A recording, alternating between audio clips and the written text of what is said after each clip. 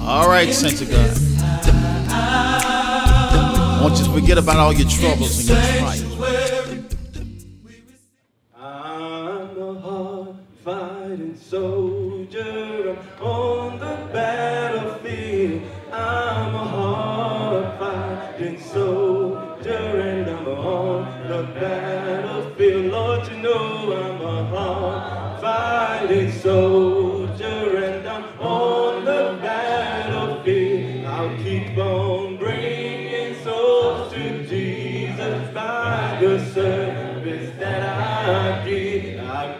inside my helmet on my head. In my hand, my sword and shield. Oh, I got my helmet on my head. And in my hand, my sword and shield. Don't you know that my helmet's on my head? And in my hand, my sword and shield. I'll keep right the service that I give. Now I've got to walk right, talk right, sing right, and pray right. I'm on.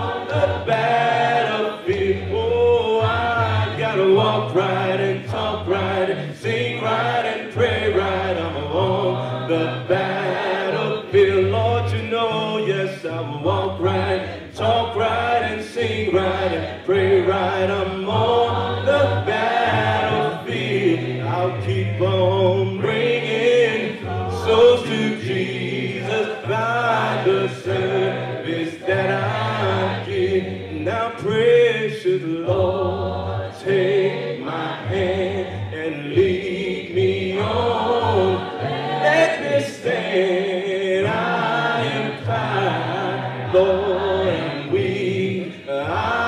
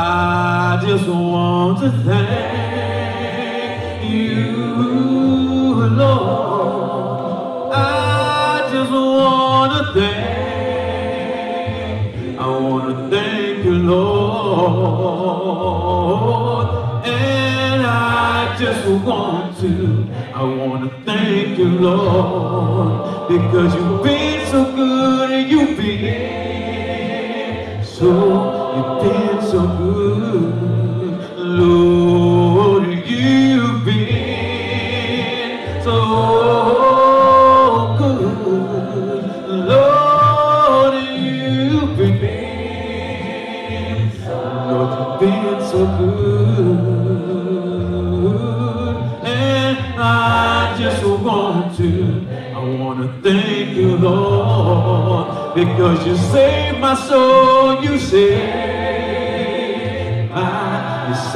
my soul, Lord,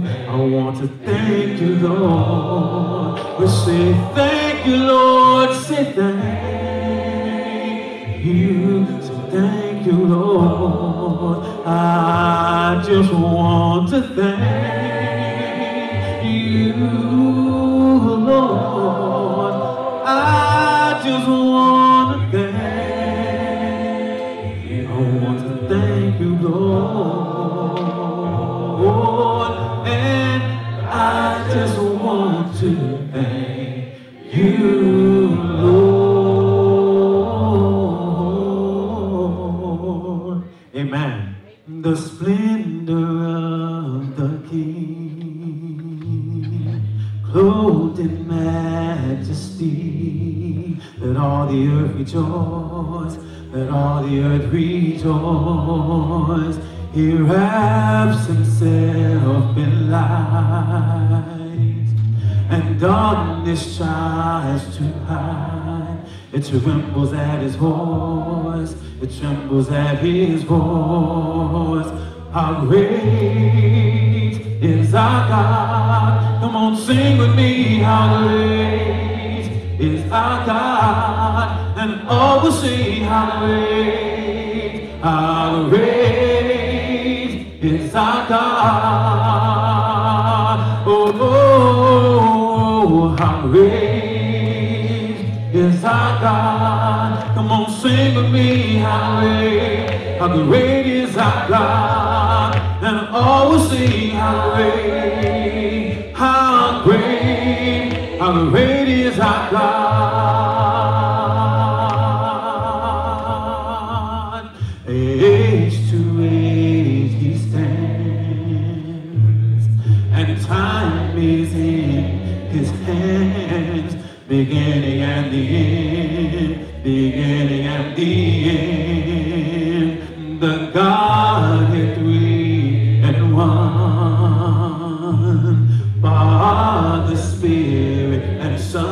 Son, the Lion and the Lamb, the Lion and the Lamb. Great is our God? Come on, sing with me. Great is our God? And all will see how great, how great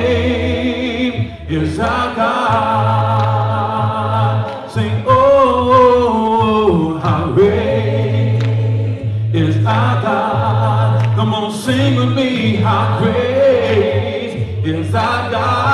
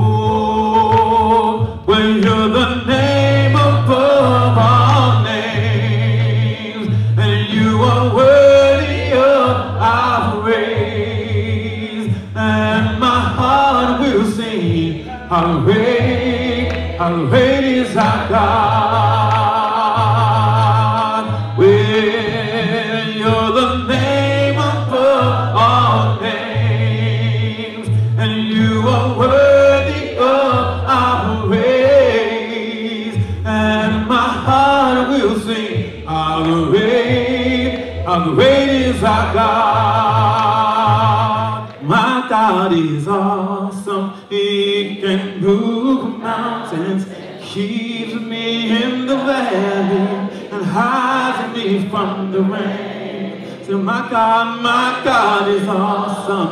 You know He heals me when I'm broken. He's my strength where I've been weak, and forever He will reign. Sing it again, my God is awesome.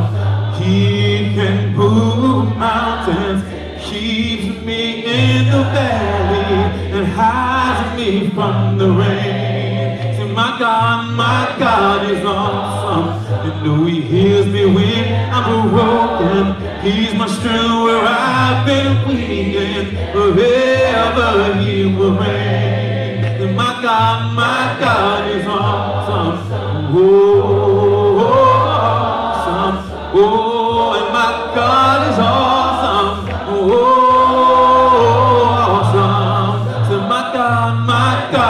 awesome. Oh, awesome. Oh, and my God is awesome. Oh, awesome. So my God, my God is awesome. He's the Savior of the whole world, giver of salvation. By His stripes I am healed. So my God, my Know today I am forgiven.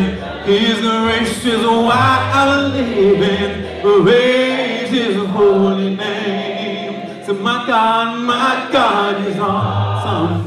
Oh, oh, oh, oh and my God is awesome. Oh, oh, oh, awesome. So my God, my God is awesome.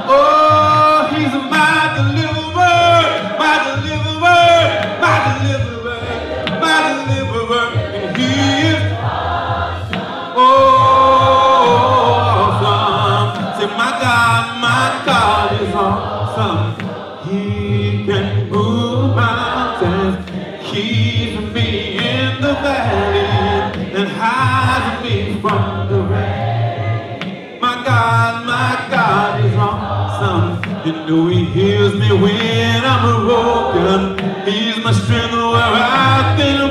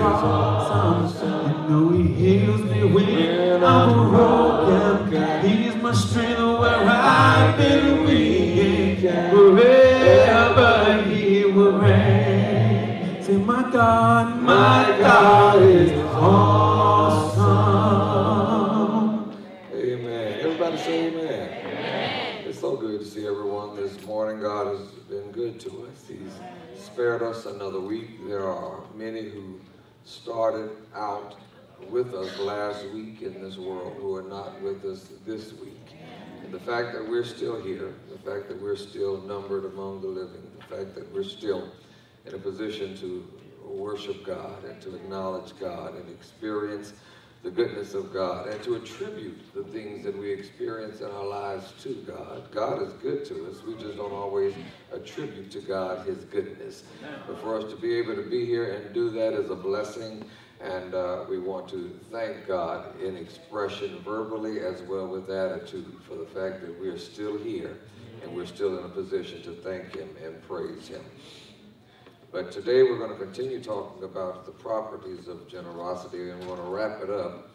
We pointed out that we have to spend some time from time to time looking at our attitude as people of God.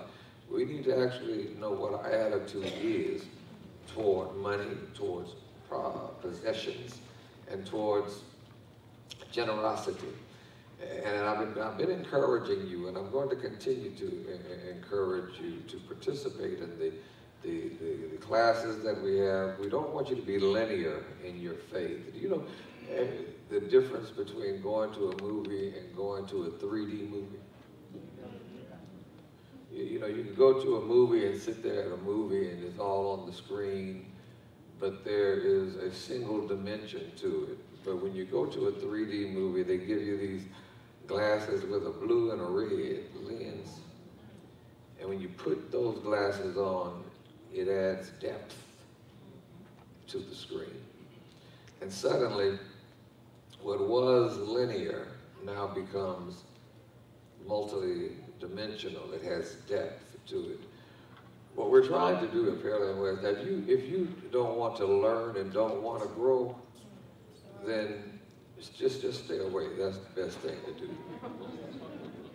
But if you want to learn, if you want to grow spiritually, if you want to have a deeper and richer understanding of God's words and, and God's truth, then you need to make yourself available because we're committed here at Pearland West to giving you not that linear perspective of theology. We're committed to giving you that depth. So when you think in terms of spiritual truths, you look through a spiritual lens and there's depth to your theological understanding and not just a linear understanding. Some of us have a linear understanding of what biblical truths are all about. We want you to have a, a richer, deeper grasp of God's word. And, and the only way that you're going to be able to get that is to be here and to be engaged in study and to be engaged in dialogue. And the advantage with the midweek class is we can have a discussion. We can have a talk. Uh, on Sundays, this is a monologue. This is me sharing information with you. But on, on Wednesday nights, we have the opportunity to have a dialogue where we can go back and forth and discuss these truths and you can grasp that richer deeper understanding. And that's what we're seeking to accomplish here. I'm hoping that you will cultivate, as I said last week, an appetite for God's word, that you, you, you, you really want to, to do it. And I know for some of us it's going to be what we call an acquired taste. Amen. Amen. But once you acquire that taste, Oh, you'll be amazed at how satisfied you'll be just consuming God's word over and over and over again. And the beauty of it is as you grow in God's truth, you can go back to some of the same nuggets and chew on it and it has a different flavor. That's God's word. I'm encouraging you to take advantage of what it is that we're offering and what it is that we're trying to do for you. Uh, my wife and I were talking about it this morning, you know, and we came to the conclusion, you know, we always say that the work of the church is to save the lost and to keep the saved saved. And she and I talked about it this morning. She said, you know what, the hardest part of our job is keeping the saved saved. Amen. That's, that's the real job, just keeping the saved saved. You've got to also want it in order for you to attain it and acquire it. All right? We're going to continue talking about this. Now, we've spent some time talking about this. But there are two things. If, if we're going to have, if money is going to break, if we're going to break free, rather, of the power and the influence of money, there are two things that we need to do. Or if you're listening, say, I'm listening. Because this is important for us to get. Not only will this apply when we talk about money, but it actually applies to everything we reference to in comparison to secular world and the spiritual world. This principle is the principle that we have to have that enables us to overcome all the obstacles that we have in this world. Number one, there are two things. First thing, there's a principle. There is actually a principle that, that we have to grasp we, we have to grasp a principle and, and, and hold on to this principle tightly. Then, once we have the principle, the second thing, we have to take that principle and we have to bring it into our hearts through the cross of Jesus. Those are the two things. It sounds simple, but it isn't. It's challenging. Number one, we have to grasp a principle and then take that principle and bring it into the center of our heart through the cross of Jesus. Well, what's the principle? You said we need to grasp the principle. What is the principle? Take your Bibles out. What is that principle? Let's go to Proverbs chapter 11 and look at verse number 24 now. In Proverbs chapter 11 and verse number 24, Anthony, do you have that? Let's look what the Bible says. If you have, is everybody there? We, we need to be here together. If you're there, say amen. amen. Look at the principle here. The Bible says in uh, Proverbs 11 and verse number 24, what does it say? One man gives freely. One man gives freely. Now, this principle I'm getting ready to share with you, we're going to read it here in Proverbs, but we can actually find this, this principle that we're talking about here, this, this very simple principle runs throughout all of the wisdom literature. It doesn't matter whether we're, whether we're reading in Proverbs, whether we're reading in Ecclesiastes, whether we're reading in the Psalms. This principle runs throughout all of the wisdom literature of Scripture all parts of the Old Testament, this principle is always there. The principle is simply this it says, what? One man. One man gives freely. Yet gains even more. Yet gains even more. No, no, no. The, the, get that. One man gives freely, yet gains even more. Yes. The more you give away, the more you get. That's a biblical principle that runs throughout all scripture. One man gives away freely, yet gains. The more you give away, the more you get. Another, read. Another.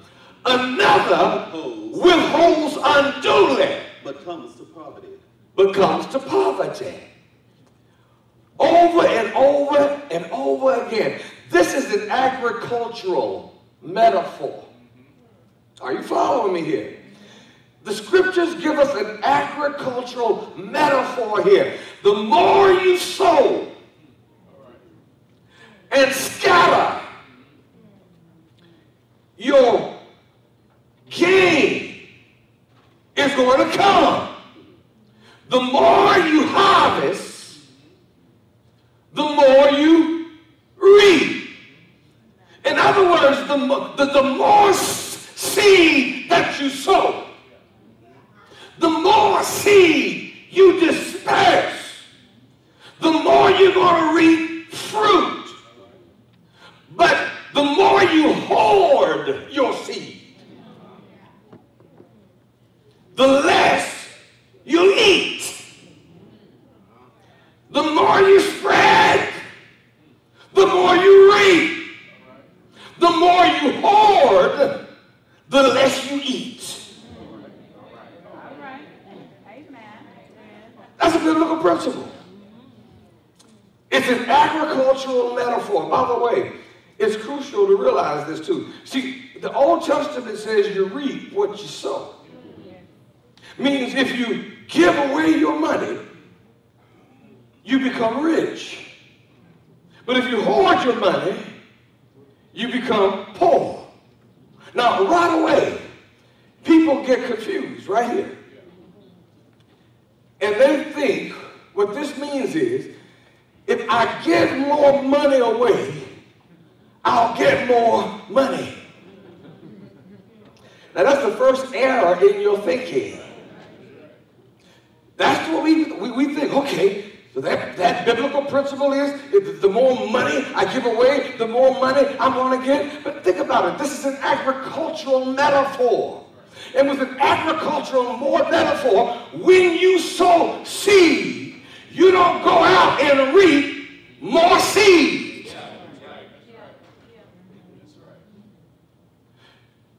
You don't sow a field full of seed, and then when it's harvest time, go out and expect to collect more seed. Amen. No, no, no. You reap fruit. You sow seed, you reap fruit. Your seed doesn't come back to you in the same form that you gave it away. Amen. We got to wrap our mind around that fact that the form that I disperse it is not necessarily the form that I'm going to get it back. And that's what the Bible is saying. It's talking about scattering your money and being extremely generous to the poor and to the church. And it says, in giving it away, you're going to bear real fruit. In the same way, when the Bible talks about scattering your money, being extremely generous to the church, to the poor, that fruit is going to come back, but it's going to be real fruit. In other words, real, real riches. Real riches are going to come to you. Now, this is a principle scattering gathers, gathering scatters. Are you following that? Scattering, if I scatter my seed, I'll gather. Scattering gathers. If I gather, if I hoard my seed, it scatters. How so? When you scatter your gifts to the poor, you're uniting society. If the well-off hold on to their money and spend it only on themselves, if those who have resources only use their resources for themselves, you'll have a divided society. Did you realize that? Gathering, which means hoarding, scatters. Are you following? We've got to think theologically. We've got to think larger. We've got to think outside the box. When I scatter, I gather. But when I gather, meaning hoarding, it scatters. If you give your money away to the church, the job of the church is to bring God and humanity together. Amen. Isn't that what it's all about? Our responsibility as the body of Christ is to bring God and humanity together. When you support God's work, when you give to the poor, when you give to the church, you're uniting society. You're bringing God and humanity together. That's what I'm doing right now.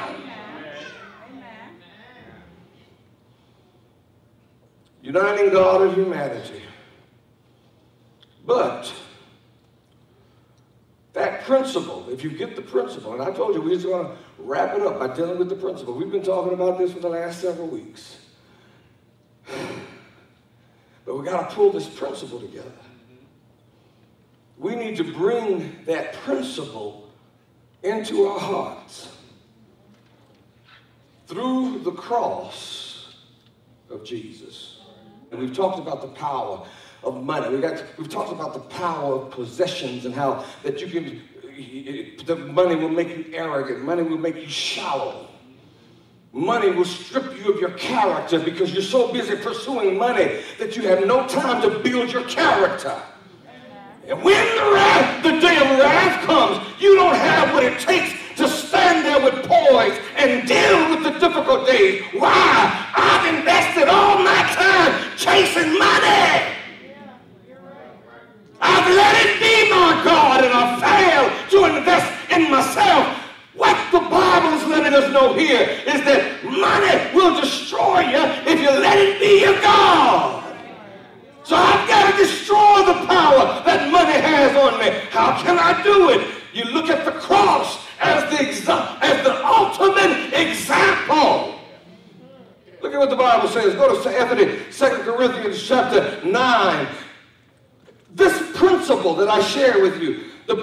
was simply this.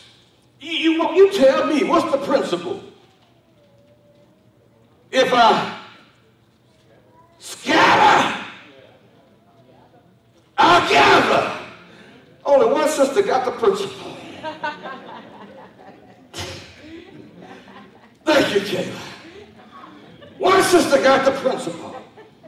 But if I gather, hoard, I scatter. That's the principle. Proverbs 11 24 says, One gives away and gains, one holds on to unduly and comes to poverty. The cross is the ultimate example of this principle. That's why in 2 Corinthians chapter 9, it says, you're going to reap what you sow. Remember this principle he says here. Drop down to verse number six. Read what the Bible says after that. Remember this. He says, remember this. Whoever sows sparingly Whoever sows sparingly. Now we, we sit here and read this every Sunday. Every Sunday we sit here and, and some of us can get up here and quote it. Amen. but have not grasped the principle of it. Paul says, remember this, whoever sows sows sparingly will also reap will also reap Sparingly. sparingly. Whoever sows generously generously will also reap will also reap generously. Now, hear what, what's going on. Paul is dealing with the church. The Macedonian Christians were poor. But they gave a lot of money to famine relief. The Corinthian Christians had a whole lot of money, but they weren't generous. Now, why is it that way? Folk who don't have a lot just they just share with you everything they have. But like I said, you get a little something.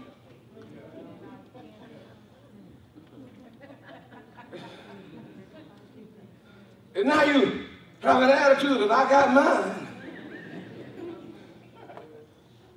The Corinthian Christians had a lot of money but they weren't generous. Paul uses an Old Testament principle in order to appeal to them, and he tells them, Don't you get it? You reap what you sow. If you hold on to too much, you become spiritually poor. If you are willing to give your money away, you become spiritually rich. Why? Scattering gathers. Gathering scatters. The more you hoard on to something, the more you lose it. I don't care what it is. The more you try to hold on to it, Then he goes on to say in 2 Corinthians chapter 8, now I want you to really go ahead and look at this. 2 Corinthians chapter 8, drop down to about verse number 9. I want everybody to get this. Here, here's the ultimate example of scattering in order to gather. Read what the Bible says. For you know the grace of our Lord Jesus He says, Christ, get this. Pearland West, he says, for you know the grace of our Lord. Jesus Christ. And we understand the principle of grace. Grace is becoming the recipient of something you don't deserve. Every one of us who is here in the body of Christ, the only reason, every time somebody becomes a child of God, that's a miracle. People wonder, oh, does Jesus do miracles today? Are you a Christian? That's a miracle. Because everybody in here has sin in your life. No one in here has lived a perfect life. Yet Christ, because of what Christ did, God sees Christ when he looks at me. And the fact that God sees me as redeemed, as righteous, as justified, beyond condemnation, that's a miracle. But look what he says here. That, that's the product of grace. He says, now for you know the grace of our Lord the grace of our Lord Jesus Christ. Jesus Christ. That though he was rich, Christ was in heaven. Christ was with God in the beginning. John chapter 1, verse number 1. In the beginning was the Word, and the Word was with God, and the Word was God. Verse 14, the Word became flesh. Christ was with God in glory. But it says Yes. that though he was Rich. rich, everybody say rich. Christ was rich. It says, yet For your sake, for your sake, he became poor. he became poor. What does that mean? He emptied himself. He emptied himself. Brother Yelton dealt with Philippians chapter 2 on Wednesday night. Talk, that, that's called, we're talking about kenosis theory. It's called the kenotic hymn. In Philippians chapter 2, kenosis means to empty oneself. The Bible says that though he was rich, he became poor. He emptied himself of his glory on the cross. Why? Read. So that you, So that you, through his poverty, through his poverty, might become rich. might become rich. He's saying that's the ultimate principle. An example of scattering together. I don't see it, Brother Lee. I don't see it. Well, the ultimate principle of scattering to gathering is the cross. How? Well, on the cross, Jesus was broken to pieces. He was scattered. They whipped him with 39 stripes. They pulled the very flesh off his body. He was scattered. They broke him. They speared him. They nailed him. His bones crushed and splintered as they drove nails through his hands and nails through his feet. On the cross, he was broken into pieces.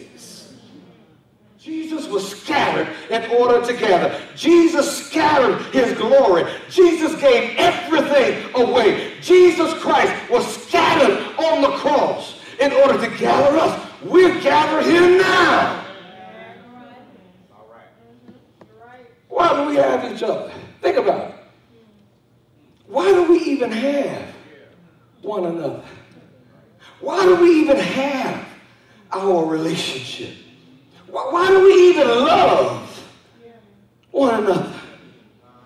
Because Jesus was scattered and destroyed on the cross. When you see that Jesus Christ did that for you, anything else your heart would treasure, anything else you set your heart on as your main treasure, is going to demand so much from you. Look at the difference here. Anything else, you see what Jesus did. He wants to be the treasure of your life. And you see what he did. Anything else you make the treasure of your life is going to demand so much from you. I gotta make this much money. I gotta live in this kind of house. I don't want one but two houses. I gotta have this kind of car. Anything else that you make your treasure is going to demand so much from you. Any other treasure you set your heart on will make you sacrifice. Let that, I want that to marinate. I don't care what it is. If you make it church, Amen. it's up for working two and a half jobs. Because they got to have this house. And here you are, ripping and running. The demand is put on you, and you are ripping and running, trying to meet the sacrifice of your God.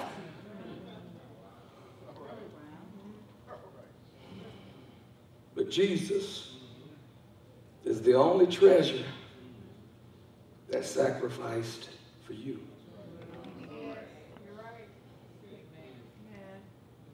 He's the only treasure who could sacrifice for you. When you see him scattered in order to gather you to his Father and to each other, oh my goodness. We looked at Proverbs 18 where it talks about people hold on to their money and they think it's their fortified city because they're trying to find security. Remember we read that? But when you see what Jesus did for you, what he sacrificed for you, now, now there's, there is real security right there. You want to feel secure?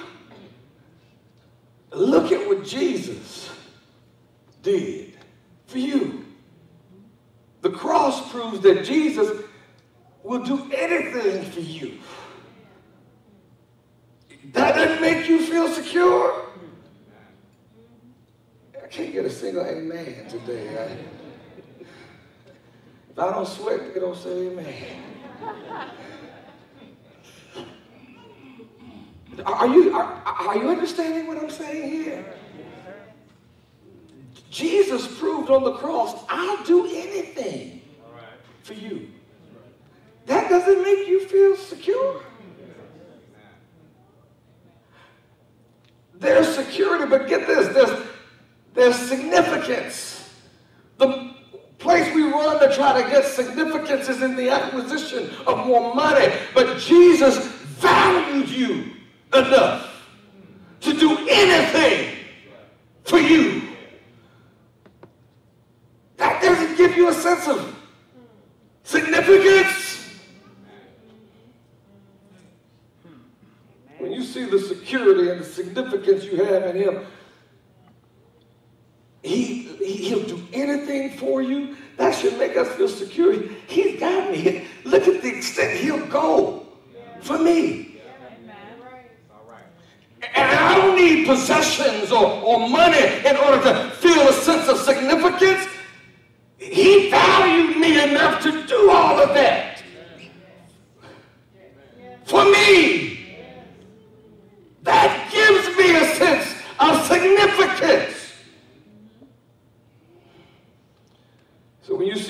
security and the significance, suddenly money no longer becomes my identity. Suddenly money no longer becomes my security. Money becomes just money. It's just money. It loses its divine qualities. It's just money. It stops being security and identity. It's just money. It becomes money. And now that it's just money, I don't have a problem giving it away. Amen. Didn't get too many amens there either. Are, are you following the principle that I'm trying to get you to see? When you put things into spiritual perspective, money is just money. Jesus Christ scattered himself in order to gather us. Now, you go do the same. Amen. Amen. You see your model, you see your example, now you go do the same. Scatter your gifts. By the way, you might say, well, well Brother eh, how much, how much should I give? You're just a typical preacher. You, you, you, you, you just, you're not being practical. How much should I give anyway? Well, my first response to that, like I said, is that's the wrong question. All right. You know, anytime somebody asks you, well, how much should I give? You need to let them know you're starting off with the wrong question. Well, what should the right question be? The right question should be, why don't you want to give it more away? Amen. Why don't you want to give it? If you take the cross into the center of your economic life, if you take the cross into the center of, of who you are, seeing what he did for you, scattering himself for you in order to gather us together as the body, it will make you want to give more. It demotes money. When you get your spiritual walk right, it demotes money.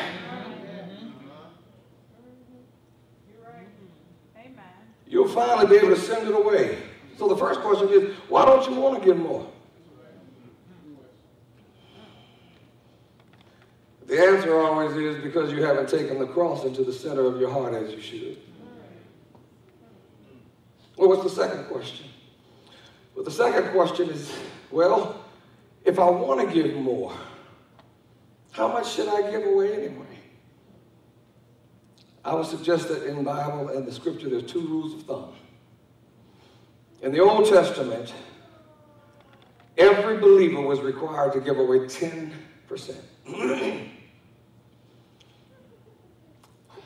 of everyone's income went toward the poor or went towards ministry in the Old Testament. If you, by the way, are making it a habit to give at least 10%, congratulations. If you're giving 10%, you have at least met the Old Testament standard. But if you go to the New Testament, here's what you'll see. Jesus on the cross, the ultimate example of scattering and gathering. Jesus did not tithe his blood. Amen. Jesus did not tithe his life. He gave it all. He sacrificed. That means the Old Testament rule of thumb is 10%, but the New Testament rule of thumb is you give as much as away as you can in order for there to be experienced in your life a measurable sacrifice. Well, well, man. Say that. You should be giving away so much money that you have to ministry and to the poor that it makes a measurable difference in your life. You see, some of us won't give because we say, well, I got vacations coming up. well, you need to give measurably to where you sacrifice. Maybe you don't take that vacation.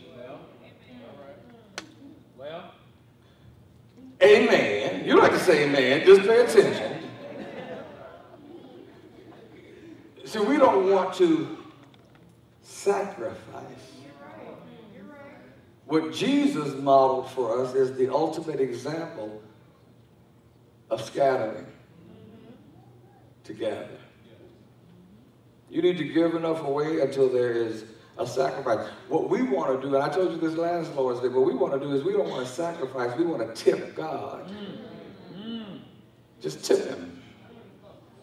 10%, 18%. Eh, now you go to Red Lobster, you'll see 10%, 12%, 15%, 18%. And, and, and you want to be impressive, so you go up there and throw in 18%. Because you want to look like a, a baller, yeah. You, you want to look like you a baller, so you give the 18%. Just put it on the card. Okay, but even when you do that, you don't sacrifice. You don't even feel it. You just tip it. That's right. All right.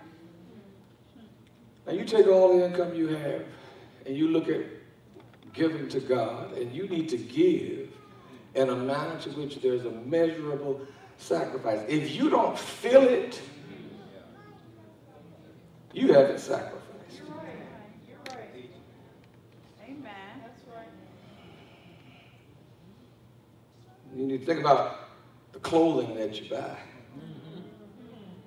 Somebody say, okay, brother, you mad at now, now you're mad at The number of shoes. If you aren't feeling it, you aren't sacrificing. If it's not making a measurable difference, if you are not sacrificing yet, a sacrifice is felt. that's right. Look at what Jesus did on the cross for you. Take that into the center of your heart, and money will just become money. Scatter your gifts and wait to see how he works in your life through that. We've been talking about generosity. We're going to continue next week dealing with generosity. But wrapping up what we've dealt with for the last few weeks, I needed to bring us to this point of looking at this thing where we reevaluate our relationship to our possessions and our grasping that principle. That principle is if I, if I give, I gain. If I hoard, I lose.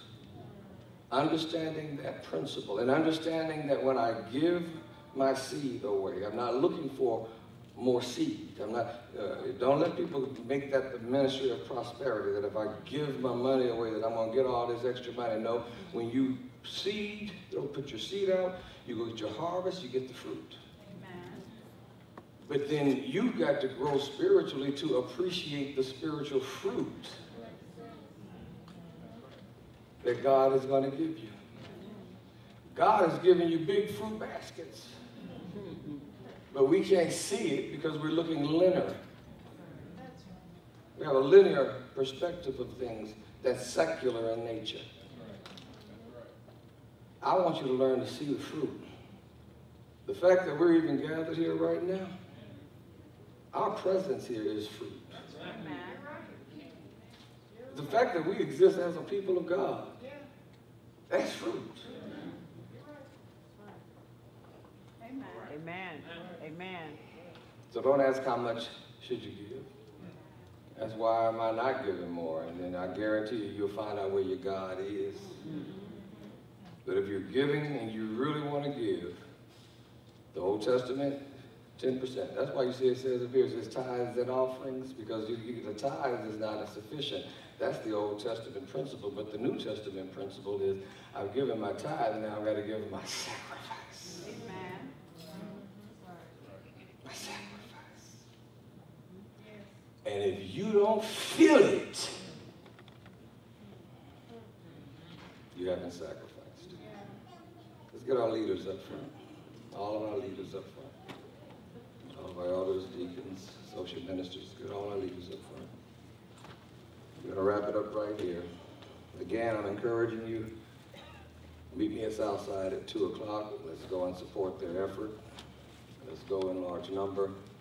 Let's be God's people and encouraging one another. If you don't want to give, people don't want to give money, but I, I promise you, I, I guarantee you got more, you got more time than money. Somebody said, well, I don't have time to go over there. Yeah, you got more time than money. You want to hoard, you want to hoard both. Hoard your time and hoard your money.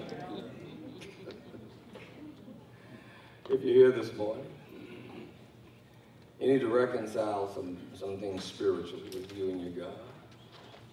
I'm, I'm, I'm challenging you. It's decision-making time. It, it becomes an issue of integrity, of spiritual integrity. Am I going to be who I say I am, or am I just putting on a show? Is this just an act? I, am I just here to impress the people who are around me, or am I here because I really want to get this thing right with God? You heard that Sister Patricia Evans passed away last Lord's Day. Dr. Evans' wife at Southwestern Christian College, his wife died, and the funeral is coming up this weekend. I mentioned last Lord's Day how fragile life is. I had just said that last week. I just mentioned the fact that, because everybody talks to me and said, Brother Lee, why you always talk about death? Because we gonna die. you gonna die. And just because you don't think about it, I want you to really think about it. The fact that you live, there's no way for you to live without it ending in death. And you're not thinking about it won't change the reality that the fact that you are alive, life ends in death. I'm either going to go to your funeral or you coming to mine. I hope I attend yours. I want to have some encouraging words for your family. I want to encourage your people. But it's going to happen. I'm either coming to yours or you're coming to mine. We've got to take that fact into our heart and take it seriously and stop existing from day to day in a flighty, irresponsible manner. If you're here and you're part of God's spiritual family, but you need to realign yourself again, just come down and ask for prayer. These men are here to service your needs. If you're here and you're part of the body of Christ and you're just looking for a place to be able to worship God and serve God, where, where people love God, love each other, and, and are sincere. I'm not saying we don't have our problems at Pearland. Well, we, anyway, you got people, you got problems, but the difference is we got people here who have problems, who know they have problems, but love each other in spite of the problems and want to work through the problems. And we understand that people are more important than problems. And if you're looking for a place to labor and to work, I say settle down right here. If you're here and you're not a part of God's body, you're not a part of God's family, you're not a part of the Lord's church, you can be by believing that Jesus Christ is the Son of God, receiving him as your Lord and Savior, being willing to, to, to allow God to change your heart. That's called repentance. Repentance is not changing your behavior. Repentance is changing your heart and being willing to tell the world about Jesus as the Lord, and being baptized. When you come out of the body, uh, out of the water, you'll be united there with Christ and with the Spirit. And when you come out of the water, you become a, a member of the family of God. And from that point forward, there's no condemnation in Christ Jesus. You're covered by the blood of Jesus. What Christ did on the cross, he scattered all those parts and body pieces, he scattered on the cross in order for you to be gathered into the family of God. That's the sacrifice he made for you. And because of that, when God sees you, even with your deficiencies, when God looks at you, he doesn't see you. Everybody should be saying amen. amen. When God looks at you, he doesn't see you, he sees Christ. I don't know about you, but that's a hallelujah moment for me. If you need to come, do it. We're going to stand. We're going to sing the song of encouragement. It's decision-making time. Let us stand. I give myself away. Oh, I Everybody sing, I give myself. give myself away so you, so you can use me. I sing, I give myself away.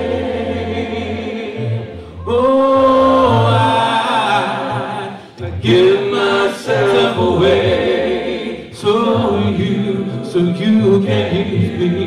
Here I, here I am, here I stand, here I stand. Lord, my life is in, is in your hands. Lord, I'm Won't you come? longing, I'm longing to see Won't you come see That's why, Lord. I give myself I say I give myself away. Are you ready to give yourself to Him? Oh, Are you ready to give yourself to give service? Are you ready to give yourself to be you- an instrument in God's hands? I sing, I give myself away. Are you tired of sitting on the sideline? Are you tired of being a spectator? Are you ready to oh, get involved? Take my, take my heart. Lord, take take my- my life. Take Take my life. my Are you ready to give it up to Him? living Lord, I'm giving it to you as a sacrifice. Lord, it doesn't matter what my dreams should be. my. Lord, it doesn't matter what my plans should be. Lord, I just give it to you. you I place it in your hand. in your hand. Say I give myself away. Oh, I, I give myself away. So you, so you can me. I sing, I give myself away. All right, of God. I want you forget about all your troubles and your.